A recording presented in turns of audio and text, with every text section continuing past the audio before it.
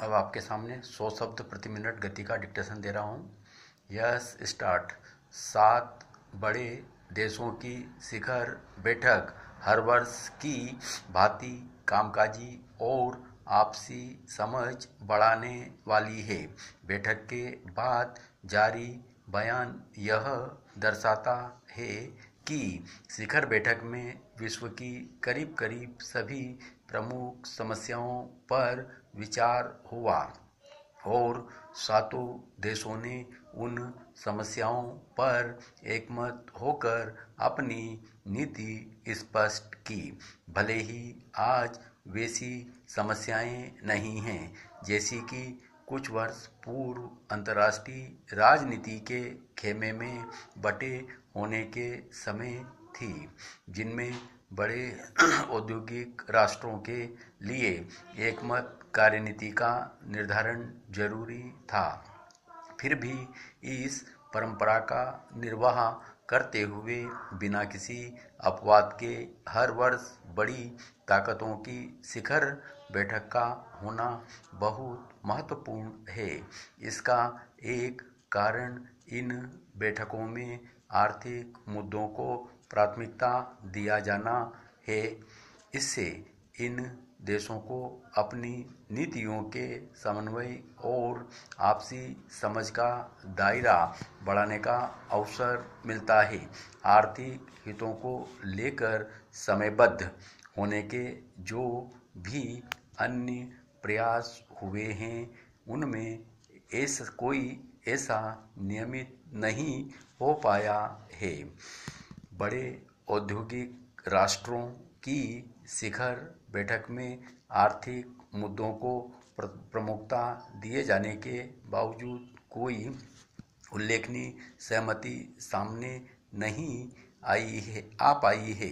राजनीतिक मुद्दों पर जहाँ सहमति का कोई अभाव देखने को नहीं मिला, आर्थिक मुद्दों पर मतों के टकराव को अति सरलीकृत घोषणा के ज़रिए ढापा गया। शिखर बैठक में शामिल देशों में से कई मंदी से उबरने का प्रयास कर रहे हैं।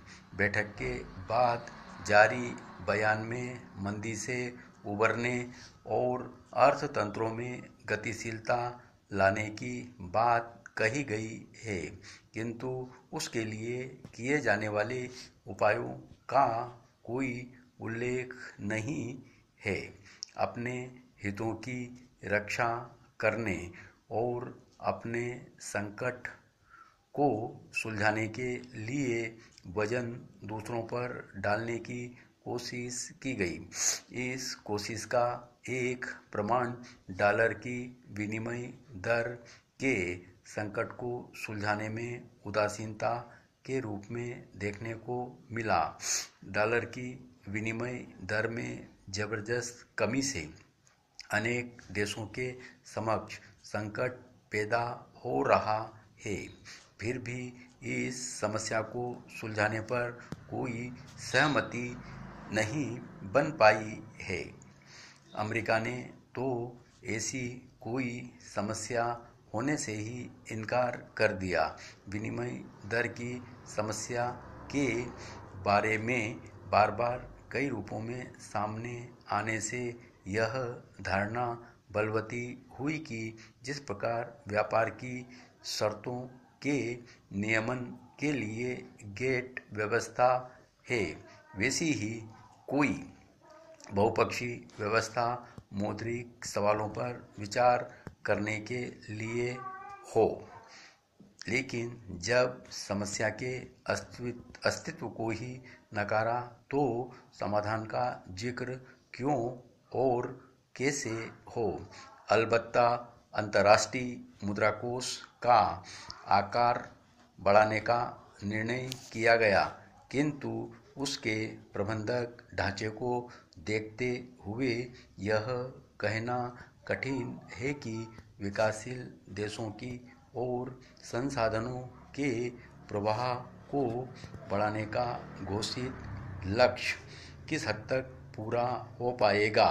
मंदी के दौर से उबरने के एक पक्षी उपायों के कारण अमेरिका का सबसे ज़्यादा लाभ में रहना लाजमी है।